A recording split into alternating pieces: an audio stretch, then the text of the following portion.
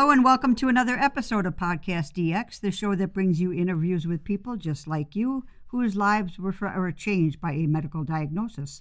I'm Lita. Ron is not going to be with us for this episode. And I'm Jean Marie. Collectively, we're the hosts of Podcast DX. On today's show, we're speaking with Sheila Ames. Sheila is a registered nurse and the founder of Journey into Wellness, which can be found on Facebook and Instagram. Um, Sheila is going to be talking to us today about common variable immunodeficiency or CVID. Hi, Sheila. Hi there. Thank you so much for having me. I've been really looking forward to this show. Thank you. Thank you. It's a pleasure to have you on the show. Uh, Sheila, this is another one of those conditions that we had never heard of before today. Could you please start us out by telling us and our listeners what is CVID? I'd be glad to. Um, as you mentioned, CVID is an easier way of saying common variable immunodeficiency. It's the abbreviation.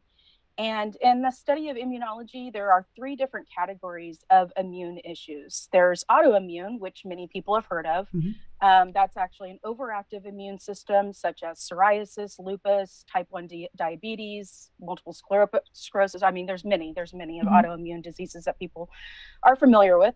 Then there's acquired immune, mm-hmm. which became pretty well known back in the 80s uh, with HIV. So it's actually something that you acquire from somewhere else. Mm-hmm. And then there's primary immune deficiencies where you are your own primary source and it's genetically related, such as CVID. Okay. So with CVID, it's actually a genetic mutation that occurs in which we produce very little antibodies to fight off infections or hold memory of different um, antigens. Okay. Um, antigens being viruses, bacterial, fungus, you know, type things. So we don't hold memories of those to fight them off in the future. So vaccines typically produce little to no effect on us. Oh, COVID must be horrible right now for you. Uh, yep, I've been home for a year now. oh my gosh. Oh wow. Yeah. Oh my gosh. Well, Sheila, then I, I have to ask what symptoms first led you to seek out medical care? And was this diagnosed at, you know, like at birth? Did they know right away? And how long did it take you or your parents to get an actual diagnosis? Um, well, some people are diagnosed early on, not not initially at birth. Um, okay they there is another type of primary immunodeficiency that's not what I have. It's called SCID for short, um, severe combined immune deficiency that they do test all infants for. It's also known as you know remember the bubble boy. Mm-hmm, um, mm-hmm. They do test for that.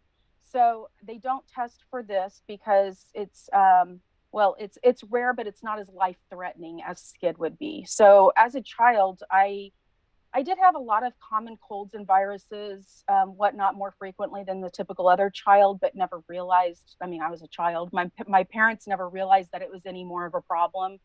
Um, it wasn't until for me when I started having red flags until like 2011, 2012, when I had frequent back-to-back sinus infections and was on rounds and rounds of antibiotics and i started to kind of wonder but still just you know i was a single mom kept plugging along you know brushed it off i'm fine you know you know as we do you know mm-hmm. we keep doing what we need to do. Sure. And it wasn't until the end of 2014 beginning of 2015 that i developed a really really bad bronchial infection that lasted for over a year. Oh wow. Um, yeah lots of antibiotics um, tried several different things increase dosage increase frequency increase the duration of the antibiotics um, through all of that, discovered I was allergic to Levaquin. Um, and then it was, I, I finally did get diagnosed at a- age 40. And that finally, um, there's other people that, that do get diagnosed earlier. It's commonly known to between 20 and 40 years of age, but it can be detected earlier and later. There's that, there's actually a little girl that I follow on Facebook, and um, she was diagnosed at an earlier age, and she does does have it as a more severe. But you know, there was other clues like when I went into nursing school, they tested for titers, which is mm-hmm. looking at your antibody levels. Mm-hmm. Um, so, like, say for MMR, you know, a vaccine that most all sure. everybody has had, um, every child does. Right. Um, so they look to see how many antibodies you have to the different vaccines. And when I went into nursing school, that was required, and I didn't show uh, antibodies to many. So oh. I was oh. instructed to go get the vaccines again, which oh. I did, and then they didn't oh. recheck And then when I got my first nursing job, they checked titers again and again. Even after I re- revaccinated as an adult, again, I still didn't Hmm. have Oh, it. So there were flags, but not enough that anybody was able to say, hey, you know, maybe we should send you somewhere else or do some more testing or whatever. Not until that year and a half bronchial, almost year and a half bronchial infection, um, did I finally, you know, get more help. Okay. Wow. I wow. think this is the, the longest um, length of time before a diagnosis that we've heard of so far. yeah, that's Yeah. terrible. It's Wow. pretty common. Five years is common. Okay. Okay. When I guess when you- when you think about kids, you think that they're always going to be getting sick. You know, they're they're experiencing Right. things for the first Yeah, time. so that might be of- difficult. Yeah. Yeah. for when you're a child. But w- did you notice as you were like a young adult that you were also getting sick more often? you know i'm kind of one of those people that that brush it off and i'm strong and i can push through i can do this i'm fine whatever it's just a little virus and the more viruses i'm exposed to i'll produce antibodies you know Right. so it's actually a good thing but So you weren't paying it. Yeah, you weren't really giving it the attention, right? Mhm. Okay. So did Mm-hmm. you end up having to get a genetic test to uh, to show what this was? uh, genetic testing wasn't part of the diagnosis because um, there's there's many other factors that go into it um, not everybody actually shows it genetically Okay. only a small portion Okay. So, yeah. So how was it diagnosed then, uh, definitively? Um, well, it took persistence on my part. Uh, going to the my primary care provider every other week after each round of antibiotics was completed, and I'm hacking and coughing. I mean, deep, deep, deep bronchial. Oh, you know, like seal sounding type coughs. Um, you know, more tests, tons of labs, tons of labs. You know, chest X-rays and on and on.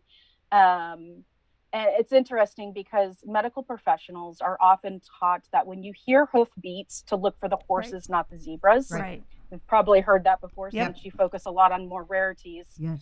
So you know because there's more horses in the world than there are zebras so they look for the commonalities they look for the common things and they um, push through all of those rule them out and i finally after a year going into you know seeing my i mean we got pretty close my primary and i you know seeing him so frequently he finally referred me to an allergist immunologist told him my medical history told him about the titers told him about the frequent infections and he knew immediately what it Oh. was Okay. um, but it takes a series of several different labs. Um, it takes more um, distinct type labs that most primary care providers aren't aware of or know of, you know, like um, immunoglobulin subclasses. And uh, it took a vaccine trial where you get your titers done on certain vaccines, then they administer those vaccines, and then six weeks later, they retest your titers.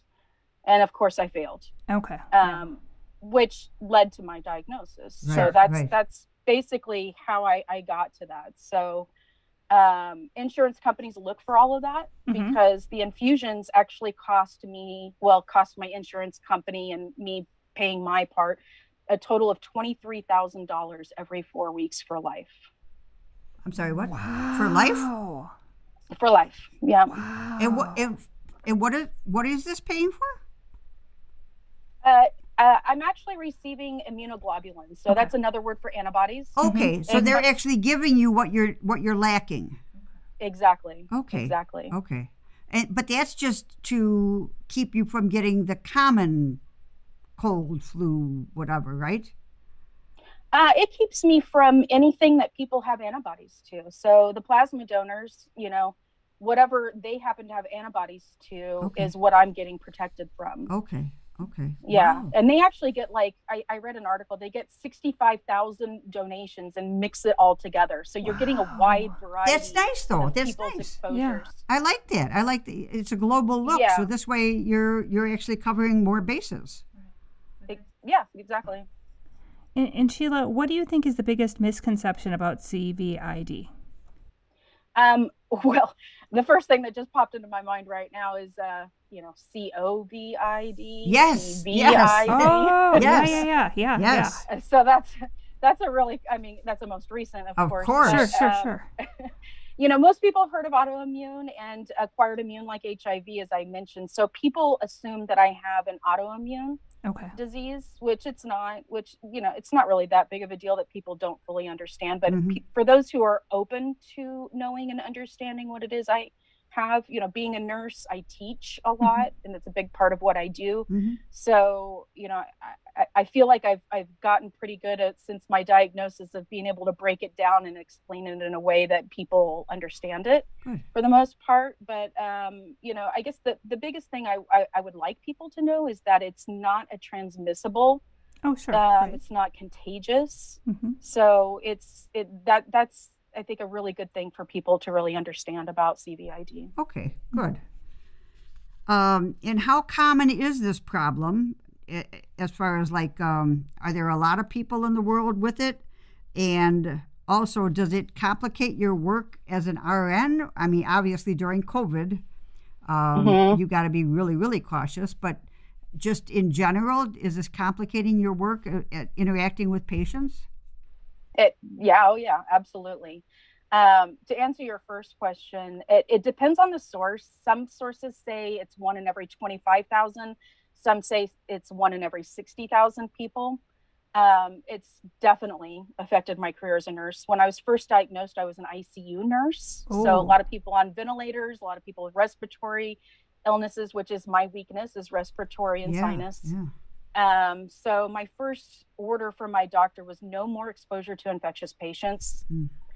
Wow. And I was shocked. I was devastated. I'm like, oh my God, I've worked so hard to become a nurse and helping others is like Right. a calling. It's like Right. an identity. Right. I am a nurse, Right. Mhm. you know?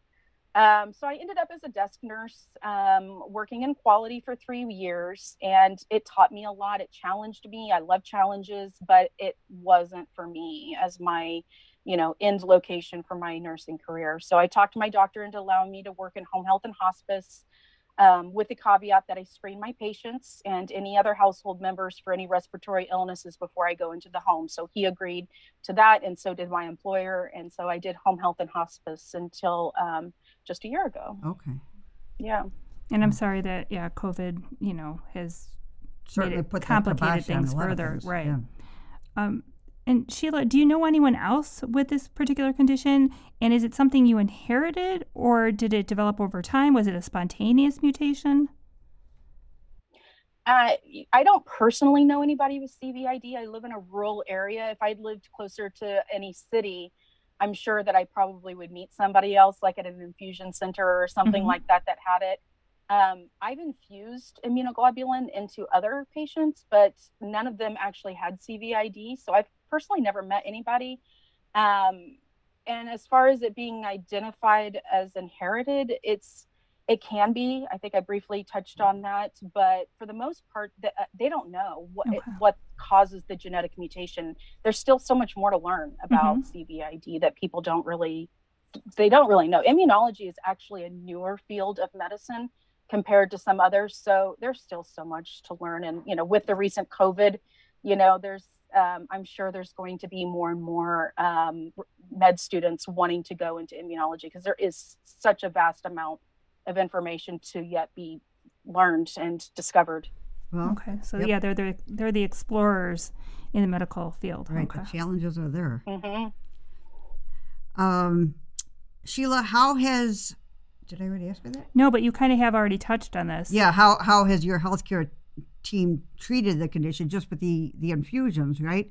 And monitoring and keeping you safe. Is there anything else that Yeah. we, we missed on that question?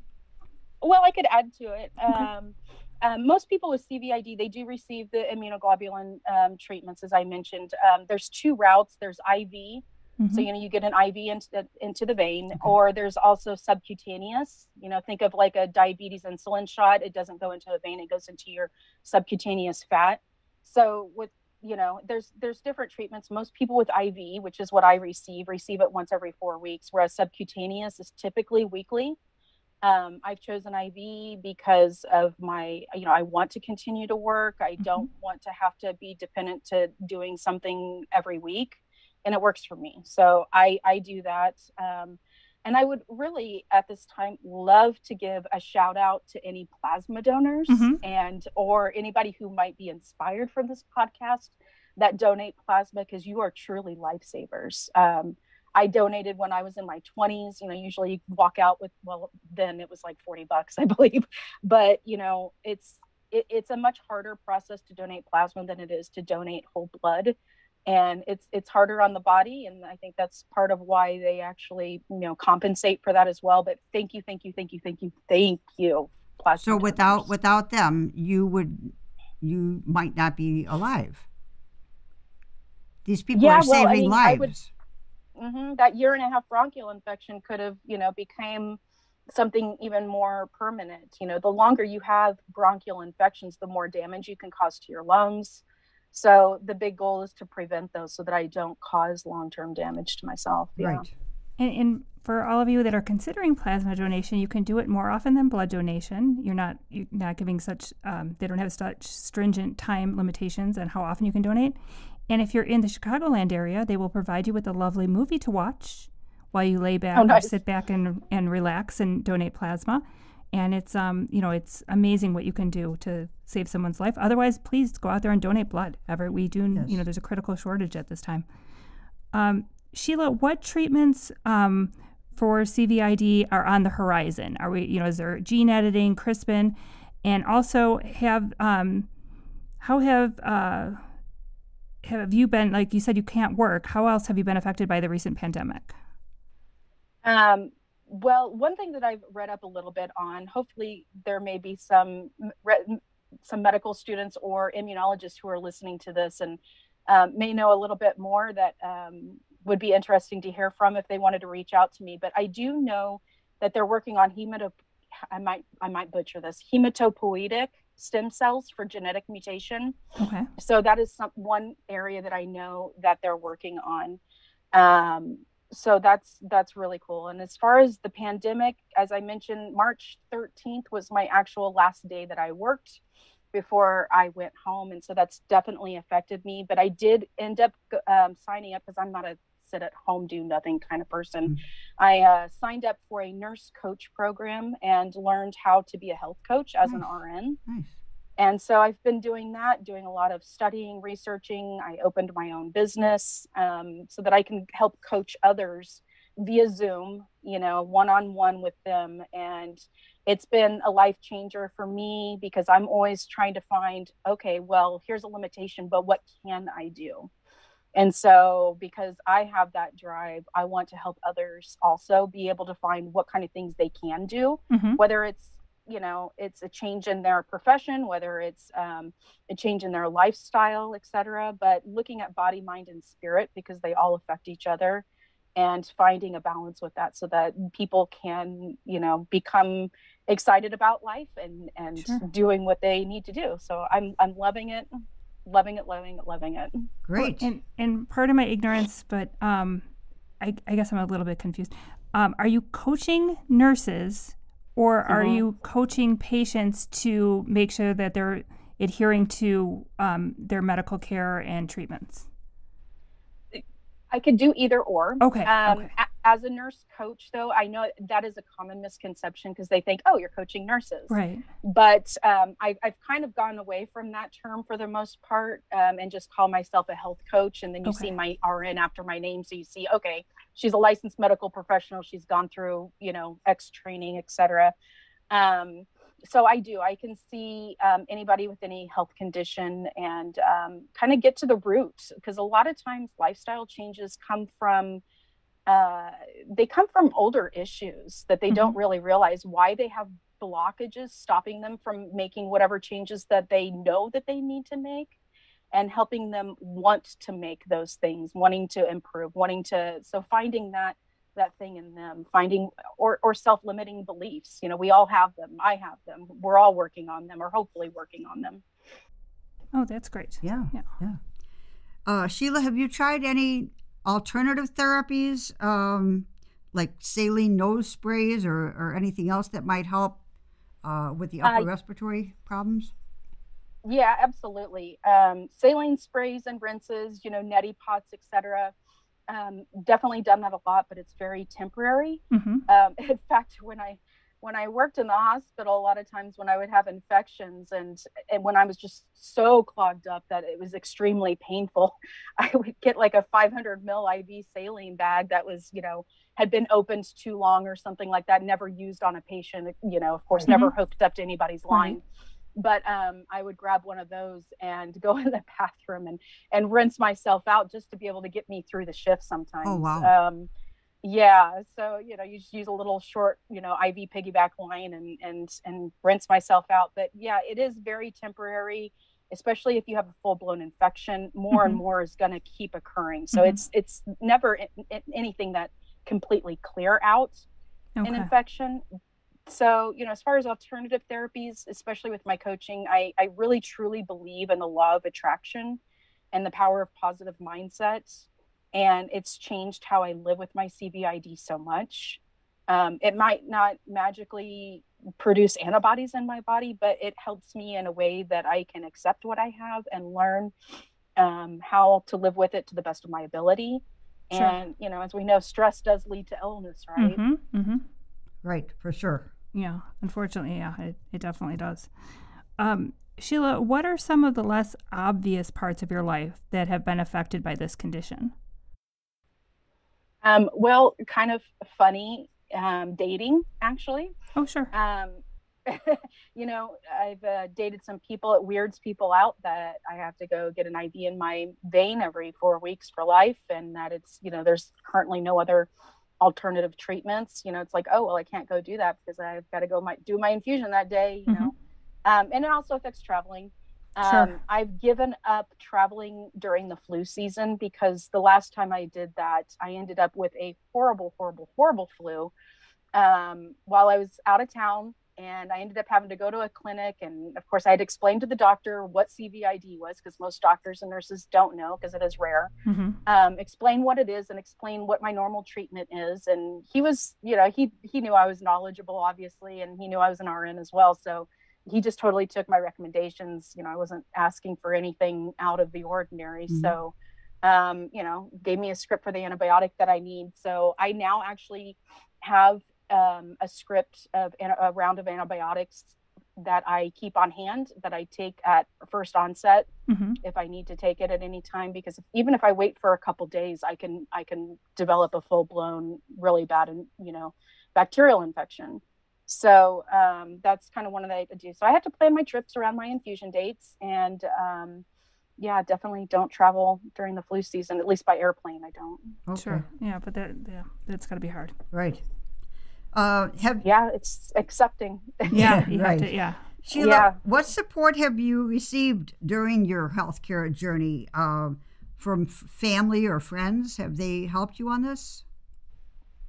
yeah i'm mostly you know listening and understanding what it is that the struggles that i i go through and um, continuing to invite me to gatherings even though i'm more likely to have to turn down an invite because you know well the recent pandemic i've turned down many mm-hmm. um, you know or i might have an, an active infection or i might be a few days away from an upcoming infusion where i know that my antibodies levels are low but you know just keeping um, sending me those invites knowing that you want me to be a part knowing that you're thinking about me or you know for others that are dealing with cvid is is really nice because it can be lonely mm-hmm. there are do you see a lot on different um, groups of people who have lost many friends because of it but i feel very fortunate that um, i'm pretty open and i discuss it and people understand it um, so I really encourage others to kind of open those lines of communications with your friends.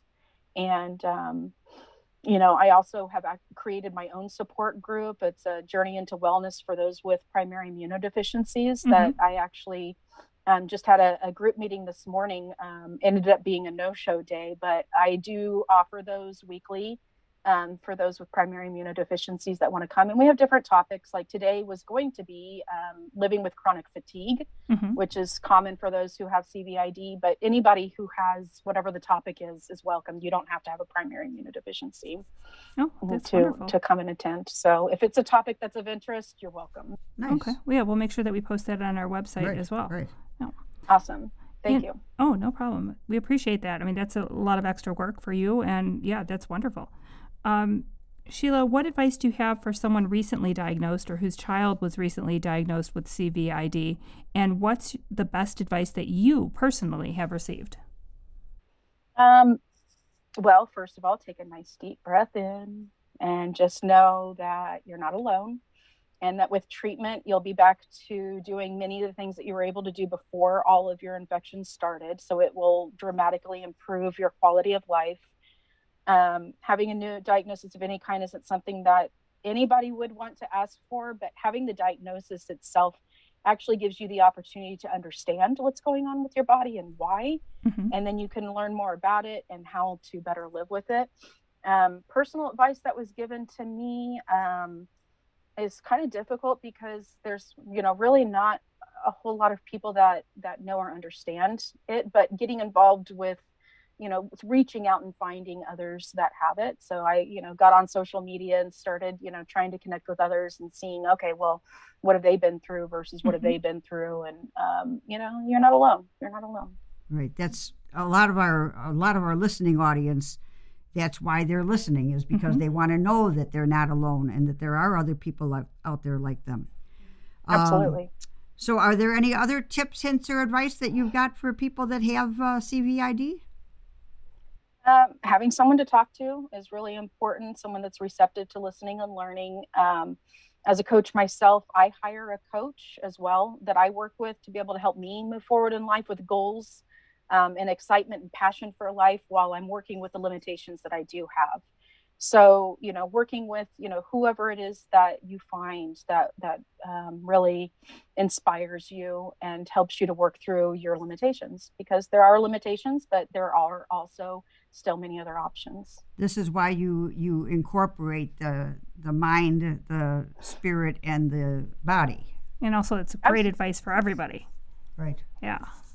Yeah for anybody with any chronic illnesses or you know even short-term illnesses that you know may go on longer than you may feel. It's it's it's hard to go through any kind of illness. You know it's you're limited you feel alone. Mm-hmm. Yeah i know um, for individuals like for example this is just one of many examples for people going through hip surgery they said um, it really can be beneficial to have someone like you said to encourage them and support them throughout the process because it is it's a long process for recovery.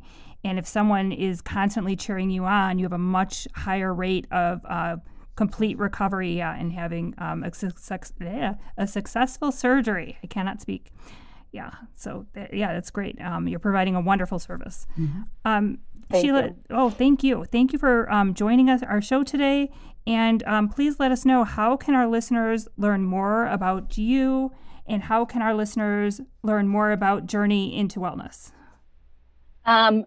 Thank you for asking. Um, when I first got diagnosed, it was nothing any, you know, I'd never learned or knew anything about this. I went to Google. There's a lot of scary things that can be found on Google, but know that you are your own individual person with different symptoms, et cetera, even with others that have the same diagnosis. So I would encourage people to look at, um, uh, a couple resources I have that really help me a lot is the Immune Deficiency Foundation, and they have a lot of free resources. They can be found at primaryimmune.org. Okay. Um, there's also my IG source um, that have helped a lot with many different resources, and their website is myigsource.com. And then, if anybody's interested in coaching, I'm at journeyintowellness.net. Okay. And uh, don't be afraid to be persistent with your doctor you know your body better than anybody. You've lived in your body your whole life, every single minute, every single second of your life. You know when something really is wrong. So be persistent when you need to be, step up for yourself when you need to be, be your own advocate, push for your needs, you know, and of course in a respectful way but um, you know request for a referral. If you're having persistent infections and all the lab results aren't really showing anything ask for the referral. The worst i mean the, the best actually thing that could happen is you know they check you out and there really isn't a diagnosis attached to you you know? Um, or they check you out and then you do get a diagnosis and then you are able to move forward from there. So ask for that referral. It took it took a long time for me to get that referral um, I did kept just, you know, putting it off. Oh, it's fine. It's fine. Cause I'd never heard of it. But, you know, advocate for yourself. Um, you're worth it. Your body's worth it, and um, that's that's I think the best advice that I could give. Excellent advice. Absolutely. Thank you very much uh, for joining the show today, Sheila. We really appreciate everything that you've shared with us. And everything you're doing. Right. No, thank you. And if our listeners have any questions or comments related to today's show, they can contact us at podcastdx at yahoo.com, on our website, podcastdx.com. We're also found on Facebook, Twitter, Pinterest, and Instagram. And if you have a moment to spare, please give us a review wherever you get your podcast. As always, please keep in mind that this podcast is not intended to be a substitute for professional medical advice, diagnosis, or treatment. And always seek the advice of your physician or the qualified healthcare provider with any diagnosis, treatment. Wait, with any for any uh, per- one of those. It's something I don't know. I guess I need more coffee for professional medical advice, diagnosis, or treatment. Always seek the advice of your physician or, or other qualified healthcare provider with any questions you may have regarding a medical condition or treatment, and before undertaking a new healthcare regime. And never disregard professional medical advice or delay in seeking it because of something you have heard on this podcast. Till next week.